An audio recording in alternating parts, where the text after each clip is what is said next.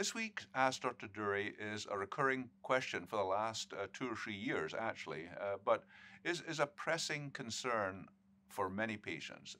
And uh, the question is two part. Uh, number one, is minimal residual disease testing routinely recommended? And part two, if it is recommended, what type of test is recommended to be done? And so uh, the first part of the answer is that as of now, minimal residual disease testing is actually not routinely recommended. And so this is because although it is extremely important to know the depth of the response and to know that depth of the response at a very sensitive level, we still need to understand what we will do with that information in terms of recommendations for the patient. And so minimal residual disease testing means that using a bone marrow sample, one can look at, for example, 1 million cells uh, using a flow cytometer, for example, where the cells would pass through the cytometer, and then one can look to see if one out of a million cells is a myeloma cell. And so, if this testing is negative, such that there are zero or no myeloma cells uh, present, then we call this uh, undetected or MRD zero or negative at this 1 million level, which is also called 10 to the minus 6. And so what one frequently sees is that a bone marrow test was MRD negative at this 10 to the minus 6 level.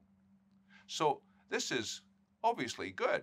It's good to have the myeloma knocked down to this extremely low level, and it means that a complete remission is even better than one might have uh, been suspecting before having the test. The question emerges, though, in terms of the routine use and what one will do with this information. If, for example, the MRD test is indeed negative, what are we going to recommend? Do we feel confident enough that we can say, okay, you can go ahead and stop treatment at this exact moment? The answer to that is actually no, we don't currently have that high level of confidence. And so what about if the test is positive? If there is a little bit of remaining disease, does this mean that we need to immediately change the treatment or uh, move to some much more aggressive therapy? And the answer to that is no, because there can be a little bit of myeloma left with ongoing treatment, and this could turn out to be absolutely fine. And so the answer to the first part of the question is that because we don't really know what to recommend uh, with the test results, we do not routinely recommend that the testing be done. And so the follow on question, which is puzzling for many, question, many patients, is well, why are we doing this testing and under what circumstances are we doing it? And the answer is that we are doing this within clinical trials. We test within clinical trials to see if one type of treatment produces more patients who are MRD negative versus another treatment where the amount of patients or number of patients achieving MRD negative status is left. And this helps to tell us that one treatment might be better than another. And so this is a very, very crucial stage in the MRD testing clinical trials work where we use it to compare one treatment versus another.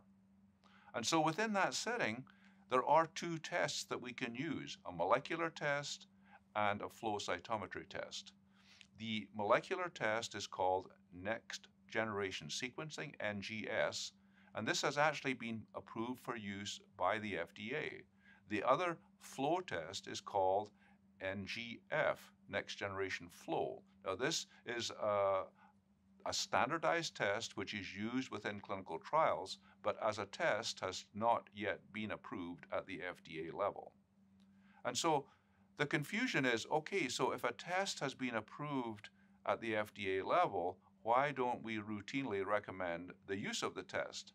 And that's because there is this crucial next step to show, although the test is a reliable test, how do we actually use it in clinical practice? And this is that crucial step that is ongoing to, to understand what will be the recommendations, how do we use this information, and uh, what will be uh, the outcomes. So, bottom line, Uh, we do not yet routinely recommend uh, testing in the clinic. However, we do basically routinely recommend it within clinical trials so we can assess and compare treatments. And as far as the testing, we are looking and evaluating both NGS and GF within our trials to see the relative benefits of each of those.